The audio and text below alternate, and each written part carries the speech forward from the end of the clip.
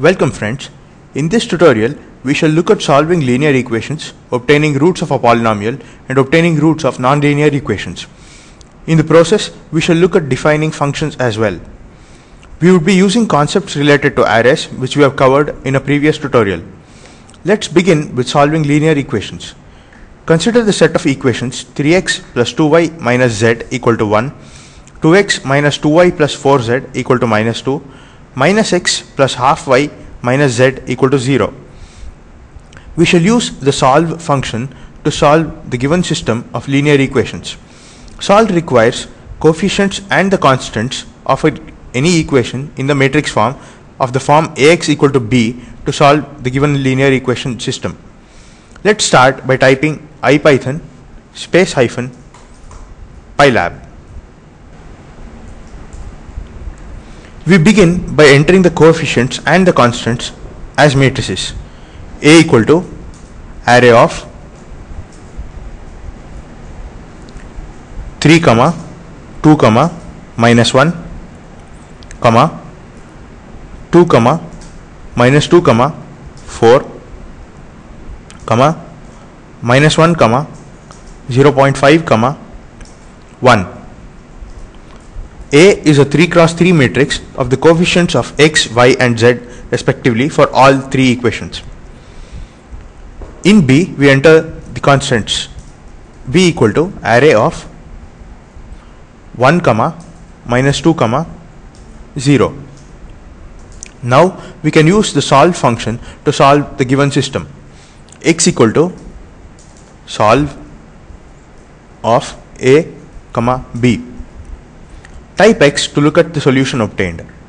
The equation is of the form ax equal to b. So we, we verify the solution by obtaining the matrix product of a and x and then comparing it with b. As we have covered earlier, we should use the dot function here and not the star operator. ax equal to dot of a comma x. Let's check what ax contains.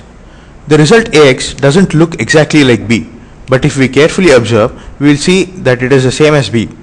To save ourselves from all this trouble, we use the all close function. All close checks if two matrices are close enough to each other within the specified tolerance level. Here we shall use the default tolerance level. All close of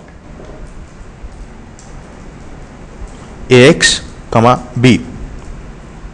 The function returns true, which implies that the product of a and x is very close to the value of b. This validates our solution x. Let's move on to finding the roots of a polynomial. We shall use the roots function for this. The function requires an array of coefficients of the polynomial in descending order of powers. Consider the polynomial x squared minus 5x plus 6 equal to 0. Let's now enter the coefficients COEFFS coefs equal to within square brackets 1 comma minus 5 comma 6. Here coefs is a list of all the powers in descending order. We'll now calculate the roots of the polynomial by typing roots of coefs. As you can see, roots returns the result in an array. It even works for polynomials with imaginary roots. Roots of within square brackets 1 comma 1 comma 1. As you can see, the result is in the form of the equation a plus bj, which implies that it's complex. What if I want the solution of nonlinear equations? For that, we shall use the fsolve function. In this tutorial, we shall use the equation sin x plus cos squared x. fsolve is not a part of the pylab package which we imported in the beginning. So we will have to import it. It is a part of the scipy package. Let's import it using from scipy.optimize import fsolve. Let us now look at the documentation of fsolve by typing fsolve question mark.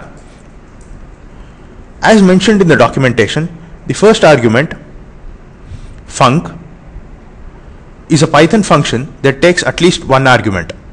So we should now define a function for the given mathematical expression that is sin x plus cos squared x.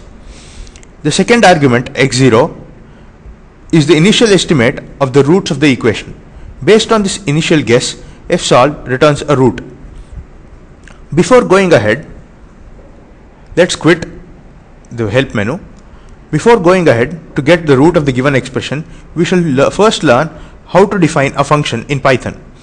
Let's define a function called f which returns the values of the mathematical expression sin x plus cos squared x for each input.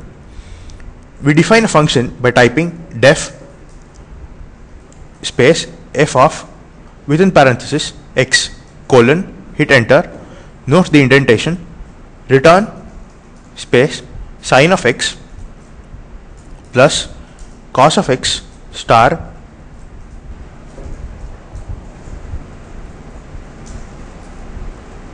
cos of x. Hit the enter key to come out of the function definition. Def is a keyword in Python that tells the interpreter that the function definition is beginning. f here is the name of the function and x is the lone argument to the given function.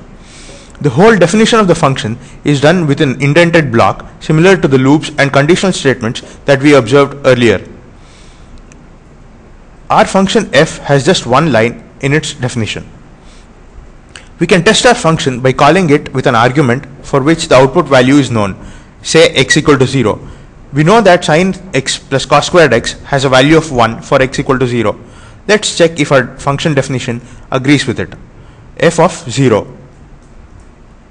As you can see, the output is as expected. Now that we have our function, we can use fsolve to obtain a root of the expression sin x plus cos squared x. Recall that fsolve takes another argument, the initial guess.